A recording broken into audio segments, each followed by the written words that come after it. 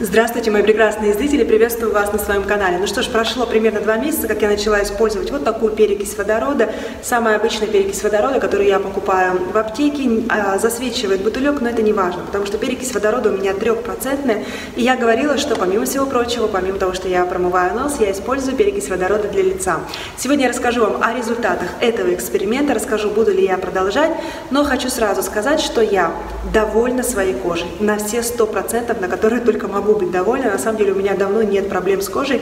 Как только меняется мое питание, я считаю, что залог моей хорошей кожи как раз-таки питание, которое у меня очень сильно поменялось. Как только у меня меняется питание, у меня сразу же появляются вопросы к своей коже. У меня появляется высыпание, например, вот здесь. Я это все пытаюсь подавить. Многие зрители замечают потом следы у меня, которые не проходят месяц, потому что это не что иное, как синяк. Вот здесь бывает тоже у меня высыпание. Но как только я сажусь на гречневый марафон и потом с него, в общем-то, долго-долго не схожу, потому что гречка состоит, составляет основу моего рациона, то у меня, в общем-то, никаких претензий нет. Если вы случайно на это видео попали, в этом году мне будет 39 лет, и я прям таки горжусь своим возрастом, потому что мой возраст позволяет делать мне подобного рода контент, который, безусловно, может быть популярен и востребован, потому что, да, в 39 лет я считаю, я выгляжу очень хорошо, как человек, который не использует крема, не использует филлеры, только лицевая гимнастика.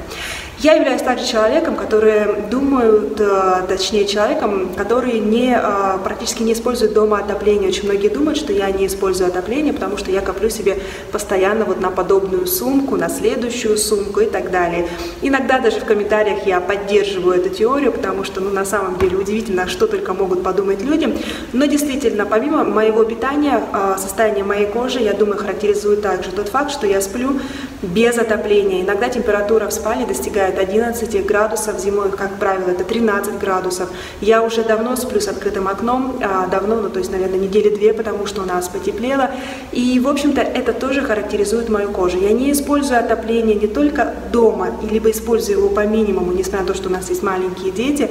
А, я также рассказывала, почему я считаю вообще отопление дома. И для маленьких детей в том числе а, не есть хорошо, прежде всего, потому что очень сушат слизистые носа, и слизистая носа становится восприимчива, более восприимчива к вирусам. Ну и также необходимо постоянно проветривать. И нет никакого смысла отапливать улицу, если ты постоянно проветриваешь а с тремя детьми дома необходимо проветривать очень часто. Но это вкратце. А если развернуть, опять же, тему отопления, могу сказать, что я и неохотно использую отопление в машине. К чему я все это рассказываю? Потому что есть очень-очень много э, вещей, которые влияют на состояние моей кожи и которые, возможно, и отличают тот результат, который я в итоге получила от перекиси водорода. Очень многие мне написали, что перекись водорода сушит кожу. Сейчас я намочу ватный диск, но вы, конечно же, не можете быть, быть уверены в том, что я наношу именно перекись водорода. Я же сюда могла водичку просто налить, правильно? Зачем я это сделаю? Все-таки я думаю, что это очень большая ответственность заявлять, что ты наносишь перекись водорода 3% стопроцентную, повторюсь, не разбавленную, а при этом наносить все-таки воду, потому что тебя могут посмотреть люди, и если они себе навредят таким же экспериментом, безусловно, ответственность лежит на тебе, и прямая, и кармическая также. Поэтому нет, я вас не обманываю, это 3%, 3% перекись, вот побольше смочу, а, диск и нанесу его на лицо. Несмотря на то, что у меня есть макияж, это никак не помешает мне обработать мое лицо. Я специально не стала наносить, а, не стала наносить помаду, потому что я очень хорошо обрабатываю под носом. И я захожу также под глаза, когда я обрабатываю свое лицо перекисью водорода. Прежде всего с утра, потому что нам всем хочется слегка с утра освежиться. И вечером тоже, ну, как правило, один раз точно я это делаю, два раза, а два раза все-таки реже я это делаю в течение дня. Сейчас я не буду проходиться близко к бровям, потому что сотру свои прекрасные союзные брови. Но, в общем-то, вот таким образом, даже заходя вот сюда, непосредственно под область под глазами. Зачем я, кстати, этот эксперимент делаю? Затем, что мне написали, что можно получить какой-то невероятный ожог таким образом нанося перекись водорода на кожу. Никакого ожога быть не может. Если у вас был когда-то новорожденный ребенок, вы наверняка должны знать, что пупочная рана у новорожденных детей в, современ... А, в современных условиях обрабатывается перекись водорода трехпроцентной. Туда прямо-таки капается перекись. Ребенок не плачет, он не чувствует никакого дискомфорта, потому что никакого дискомфорта нет. Соответственно, вот таким образом, да, я обрабатываю, обрабатываю шею, и лицо. Что это мне дает? Совершенно точно это дает мне, пока диск э, ватный, влажный, я обрабатываю также вот таким образом запястье. Потому что я верю в то, что это очень полезно не только для нашей красоты, но и для здоровья.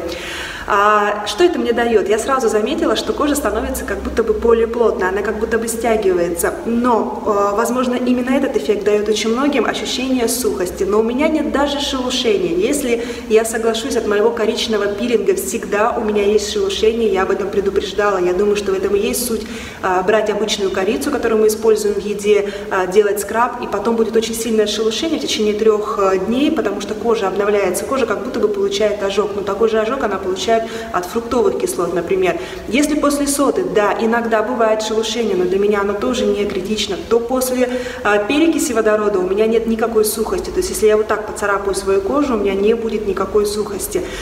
Я сразу почувствовала, что кожа как будто бы плотнее становится. Но, повторюсь, у меня есть ощущение, что кожа и стягивается. Но это не ощущение как от сухости кожи, она как будто бы стягивается. Безусловно, кожа становится более красивой, потому что никаких темных точек э, просто быть не может. Перекись водорода, конечно же, очень сильно обесцвечивает. Кстати, перекись водорода очень сильно обесцветила мне брови, и для меня это явилось хорошим, э, хорошим способом управляться со своими бровями, потому что, несмотря на то, что волосы у меня на голове очень тонкие, то э, брови у меня прямо такие очень-очень жесткие, и часто, ну, никак их не уложишь, не прилепишь никаким гелем, поэтому волоски очень истончились, и они очень сильно светлыми стали, учитывая, что я и волосы недавно обесцветила, мне действительно хорошо. Обесцвечиваются ли ресницы? Да, ресницы тоже обесцвечиваются, но для меня это тоже не проблема, в общем-то я покрываю их тушью, если мне нужно выглядеть э, более ярко, и, в общем-то, проблема на этом решена. Кстати, очень многие имеют вот здесь пушок, а я его имею и в достаточном количестве, и когда я помню, носила своих детей, у меня прям такие, я всегда шутила, вырос, э, что у меня выросли бакенбарды и борода. Эти бакенбарды и борода потом сходили очень долго. Если у вас есть пушок на лице, то вы тоже должны знать, что перекись водорода вам поможет эту проблему решить, потому что волоски становятся ну, практически незаметными, они становятся почти белыми, и также они, они действительно очень сильно истончаются. Это к вопросу о том, когда мы обесцвечиваем волосы. Поэтому я очень довольна перекисью водорода. Единственное, что у меня есть подозрение, что перекись водорода будет убирать мне загар. Я очень люблю себя загоревшую, я уже на первое солнце вышла и позагорала, и загораю лицом, как делаю здесь в Италии. Тоже много раз рассказывала, что я люблю солнце, не боюсь а, солнца и не использую никакие защитные фильтры, уж точно в зимний период, а летом всегда хожу в шляпе и тоже не использую даже физические фильтры, которые достаточно безопасны, а уже химических фильтров и речи быть не может, тем более на лицо. Но я на самом деле нигде не использую никакие фильтры, либо делаю крайне-крайне редко это и только физические фильтры. Соответственно, вот такие мои результаты по поводу перекиси водорода. Стала ли кожа значительно лучше? Я не могу сказать, потому что я вернусь к началу видео, снова снова скажу, у меня уже давно нет проблем с кожей, а давно их нет, когда я поменяла питание. Свою перекись водорода я для удобства всегда храню без крышки, просто потому что крышка постоянно куда-то у меня теряется, и я не очень аккуратна в этих вещах, но я могу сказать, что перекись водорода содержит, безусловно, консервант, даже не стабилизатор, как было заявлено мне в аптеке фармацевтом, который, возможно, не умеет так хорошо читать этикетки, как умею я. Безусловно, здесь есть консервант, именно поэтому я не принимаю перекись водорода внутрь, как советовал профессор Неумывакин. А, и могу сказать, что даже в открытом состоянии перекись водорода ну, на самом деле прекрасно хранится. Как я это проверяю, как я это знаю? Я также нос промываю себе, и если мне щипит, а мне всегда щипит, если я в особенности много налью случайно, я всегда лью на глаз примерно полстакана воды и налила. Если даже щипет, обжигает, то, в общем-то, обжигает вот здесь, но проходит очень-очень быстро. То есть прям такие несколько секунд и прошло жжение.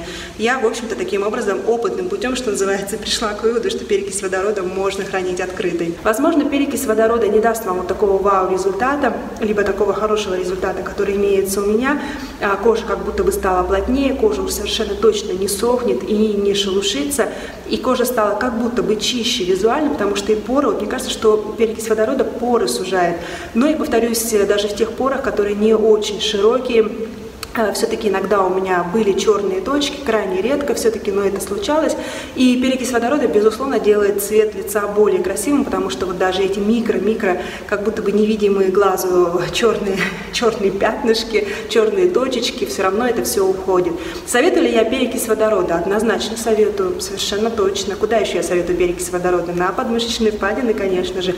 Прекрасное средство, которое а, избавляет от запаха пота. Опять же, я показывала свой дезодорант Преспире Это дезодорант, который не просто убирает запах пота, он также предотвращает потоотделение. Я даже боюсь представить, как все это происходит. Так вот, я могу сказать, что этот дезодорант Prespirex испортил мне огромное количество одежды, потому что он как будто бы одежду обесцвечивает. И хорошо, если это, этот эффект, он только на внутренних швах, на внутренней поверхности одежды. Но, как правило, он имеет место также и, допустим, на платье. То есть я очень много действительно одежды себе испортила, в то время как перекись водорода, либо самая обычная сода, и, безусловно, перекись водорода гораздо удобнее, потому что сода на черных свитерах, на черных фельпах, свитшотах, ее все-таки может быть видно, и потом нужно ее отряхивать, либо можно вообще забыть это сделать, не заметить. То перекись водорода, что называется, лицо помазала, запястье протерла, тампончик э, ватный еще влажный, подмышечки себе потерла, и все, все прекрасно, целый день ты проживаешь такая свежая, красивая, веселая, чего я, конечно же, всем желаю. На этом с вами прощаюсь, увидимся очень скоро, это была Яна Скворцова, всем пока-пока.